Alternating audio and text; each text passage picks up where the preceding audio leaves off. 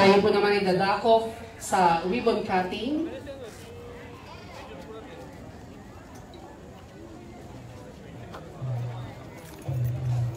Siyempre kasama rin po natin ang ating City Engineer, Engineer Armando Andres, ang ating punong barangay ng barangay 649,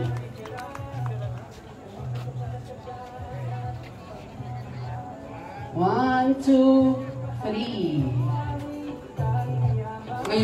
Opisyal ng bukas sa lahat po ng mga batang Maynila ang Baseco Bay Walk. Ito po ay bahagi po ng tuloy-tuloy na proyekto ng ating buting alkalde Mayor Francisco Esco Moreno Dumagoso at Vice Mayor Dr. Hani Lacuna para sa bagong Maynila.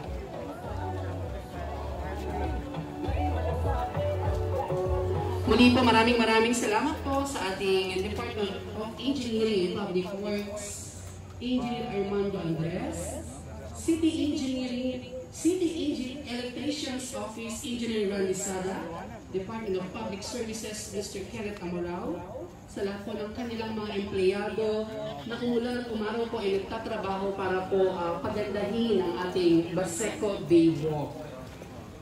Siyempre sa lahat din po ng ating mga kapulisan mula po sa SMART, headed by Major Ibay, at Police Station 13, ang Baseco Police Station, headed by Police Lieutenant Colonel Rolando P. Bumagat, at sa lahat po ng ating mga kapulisan.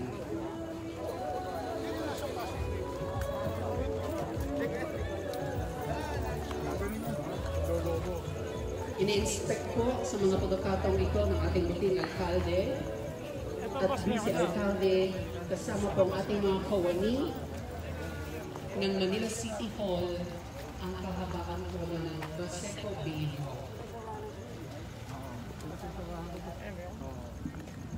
Ano ba? Or gawa na sila?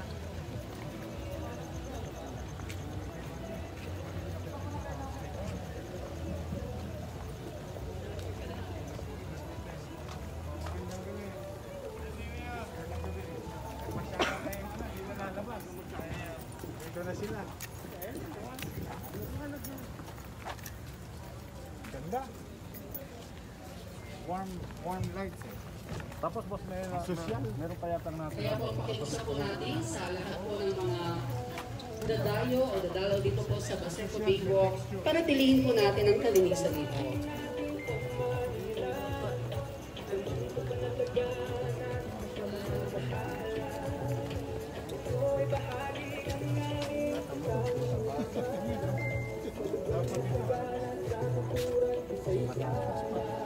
Lahat po ng bumubuo ng Barangay 649, sa lahat po ng ating mga barangay officials, sa ating buting pinunong barangay, mga kagawad, barangay tanod, maraming maraming salamat po sa inyong lahat.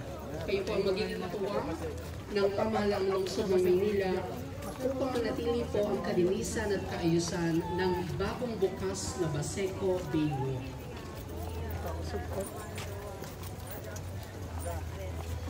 Kalay mong bubulok-bulok na yan ang araw. Okay, subulit kayo dyan. Malapit siya sa mic. So kayo dito ulit. Kasalita siya sa mga dito. At sa mga pagkakataon pong ito, palakpakan po natin, Yorme Francisco Isko Moreno Domagoso.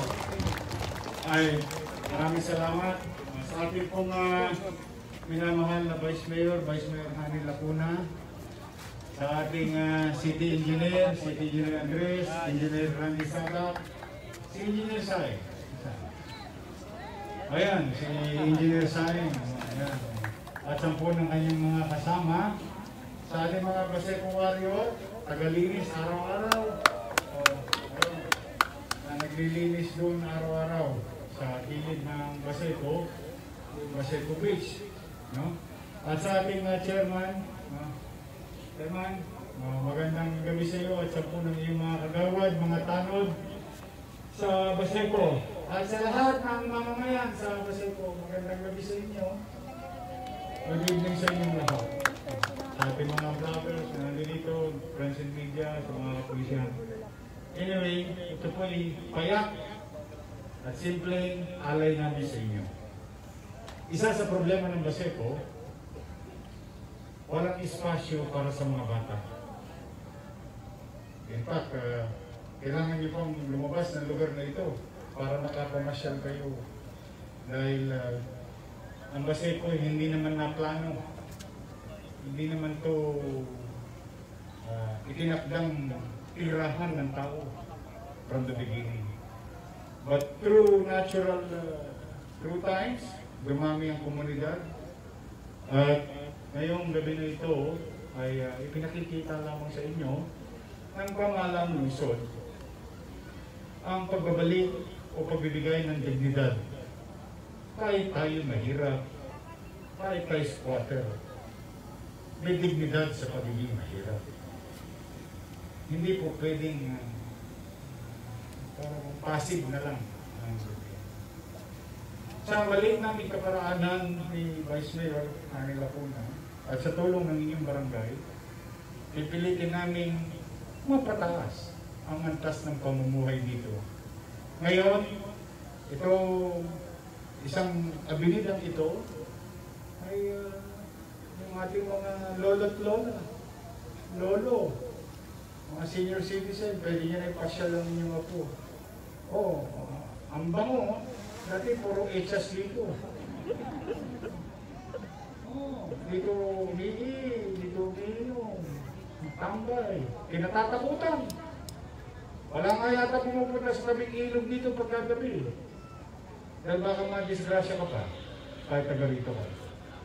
Ngayon, ipakikita natin na may gobyerno, may pamamahala, at ang pamam- pamamahala ay may malasakit. Pero may kaakibat na disiplina sa atin. Kapag tayo nililimunan ng pamahalaan, ang pakikipagtulungan natin sa pamahalaan ay ang pakikiisa sa pagsasapayos.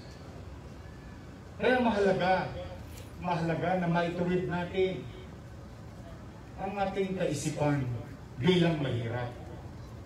Di baling mahirap tayo. May dignidad sa pamumuhay. Hindi naman kaila sa inyo. Lumaki ako sa squatter. Ayan o, bahay ko. Sa kabilang ilog o. Oh. Kung meron mga mga matatanda rito sa Baseco, o oh, ito, pasinungalingan ninyo, yung sinasabi ko. Nakira kami sa parola, wala pang ICTSI. Wala lahat yan. Yan nakikita nyo sa kodigo. Wala lahat yan. Yan ay bubog at pusot lamang ng San Miguel. Ayun yung planta ng San Miguel, oh. So, bubog nila dito. Kaya dyan, puro water lily ng araw. Noong dekada 80. Nag-aral ako doon sa Delpan. Kung saan nakatatag yung Gat Andres Bonifacio Hospital. Dating tulungan center yun.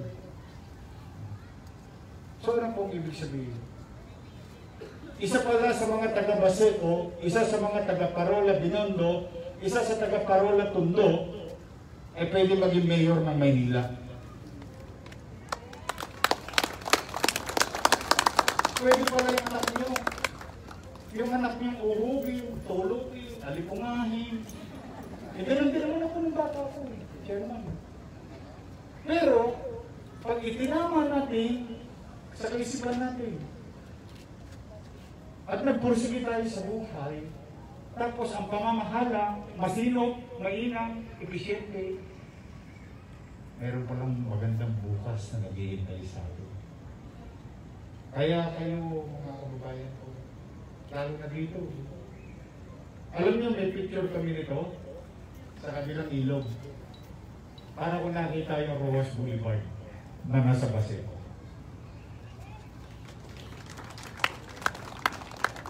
Isa totoo, takot pumunta ang tao rito. Eh, ba't sila matatakot? Eh, mga tao rin naman ang nakatira rito. Tama mali? Correct.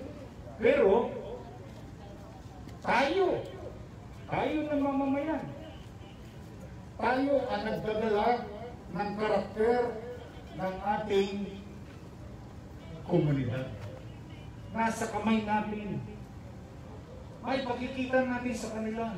Oo, squatter kami. Oo, may hirap kami. Pero kami disiplinado at may pangarap sa buhay na makaangat sa aming kinalalagyan. Kaya yan ang huwag mawali sa inyo, mga nanay, mga tatay. Sagain ninyo ang inyong anak. Walang makapabuhos ka dyan. Nangyari sa akin eh. Hindi pwede rin mangyari sa mga anak ninyo. Kaya po kayo, lahat na nandito, unti-unti, in a few weeks now, I will show you, ipakikita ko sa inyo, yung tunay na pagmamahal sa mahirap. Binulong ko na kay chairman, mas na-excite pa siya para sa inyo. Pagbibilang at tumbukan na. Ayan, si Engineer Andres, si Vice Mayor. Mas may gagawin kaming mas maayos, mas may dignidad, mas malinis, mas panatay. Unti-unti. Mahihirap ang buhay. Eh kaysa naman ako, halimbawa, kung ako nasa kahirapan, reklamo ako na reklamo, kanito magsikap na lang ako. Mag-ingat na lang ako sa kagitnaan ng pandemya nito. At patuloy kong mairaos ang aking pamilya. May mapagharimunan man lamang. Kaya kayo nandito. Kung maalala ninyo ang unang pangako ko sa inyo, nung naupo ko mayor, ano sabi ko? Ayokong pamamahayan ng kriminal ang Baseco. At kung meron pang nakikinig ng mga talongges at nakikihalubilo sa mga mamapayapang tao na iniraraos ang kanilang pamilya at napagharimunan lang nila. O, umalis kayo rito. Uubusin ko kayo rito.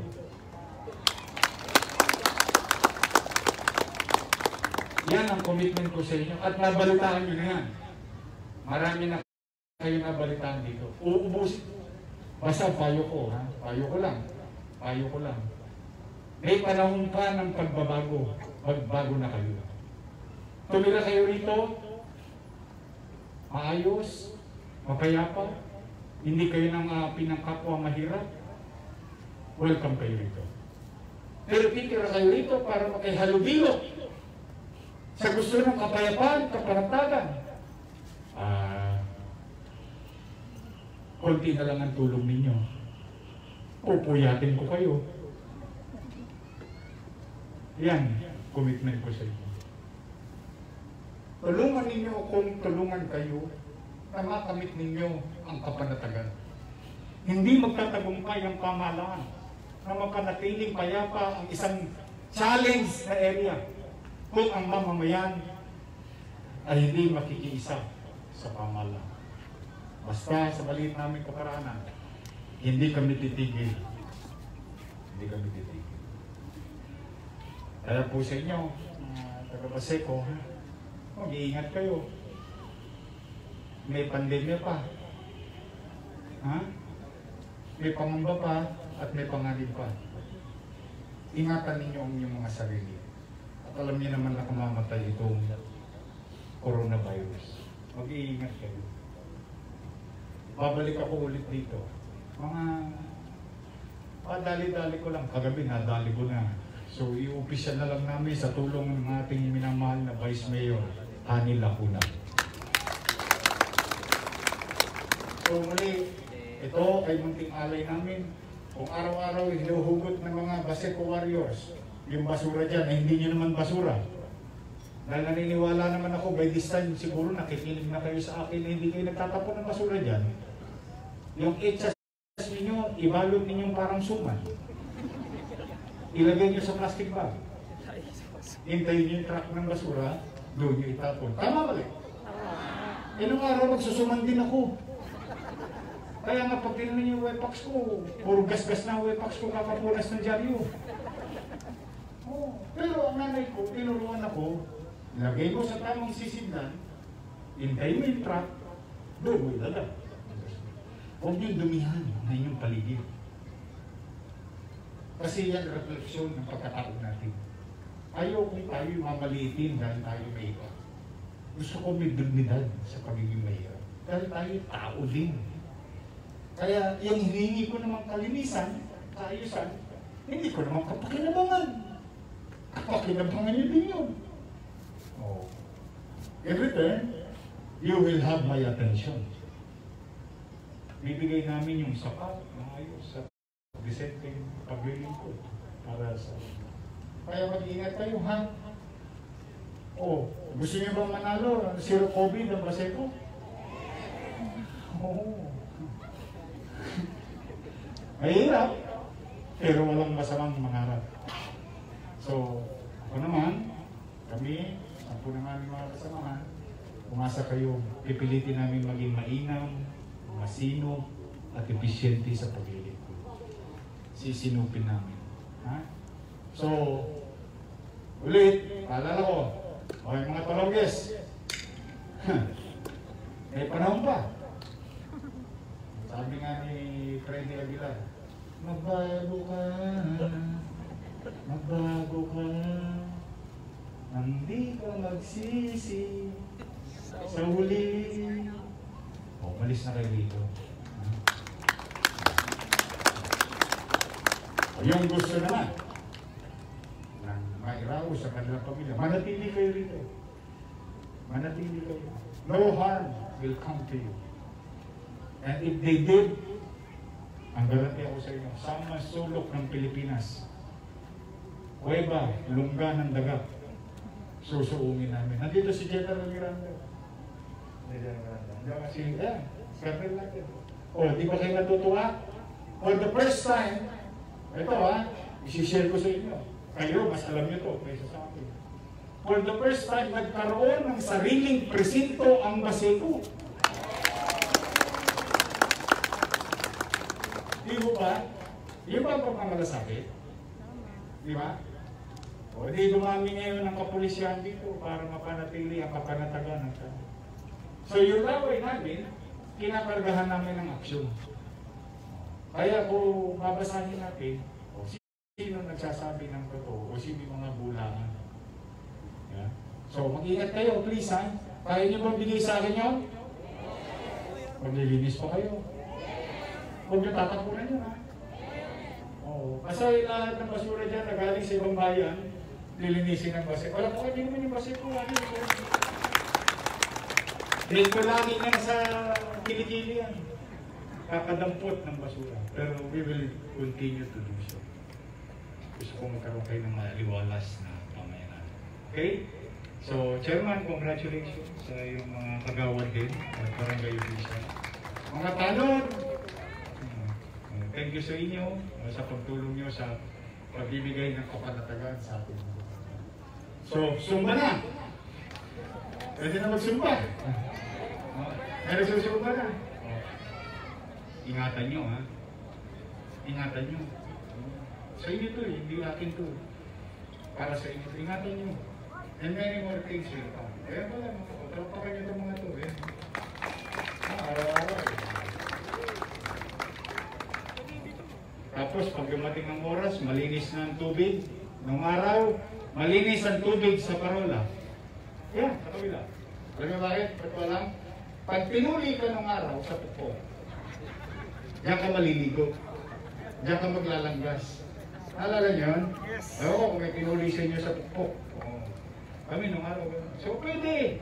Kung natikman namin nung araw na malinis sa tubig, sa tulong ng gobyerno, sa tulong ninyong mamamayan, responsable mamamayan, lilinis ang tubig, o hindi nyo na kailangan pumunta ng Boracay. Diyan ka lang sa Baseco Beach. Magtampisaw kayo. For the meantime, tumulong kayo, tulungan nyo kami na mapanatiling maging malinis itong lugar na ito. Itong beach na ito. Kaya, muli, maraming maraming salamat sa inyo. At may awa ang Diyos, huwag kayong mawawalan ng pag-asa. May awa ang Diyos, makakaraos din tayo. Magandang gabi pa pala nawa kayo ng Oh my God. Manila! God first! God first. Thank you. Ingat lang. Maraming maraming salamat po. Muli po, palakpakan po natin Mayor Francisco Isko Moreno Domagoso. Ngayon po ang ating muling Vice Mayor Dr. Hanya Lacuna at ang mga kawali po ng Manila City Hall. At maraming salamat din po sa lahat po ng bumubuo ng Barangay 649 Zone 68 sa pamumuno po ng ating muling Chairwoman Chairwoman Diana A.S. Espinosa and Council, sa ating mga barangay coordinators and volunteers, na siya magiging katuwang-tuwang ng lungsod ng Maynila ng ating muting alkalde upang mapanatili po ang kaayusan at kalinisan ng Baseco Baywalk. So muli po, palakpakan po natin ang inauguration ng Bay- Baseco Baywalk ngayong gabi at sa lahat po ng naging bahagi ng ating inauguration ngayong gabi. Maraming maraming salamat po sa inyong lahat. Manatili po nawa tayong ligtas at malusog sa lahat ng pagkakataon. Manila, God first.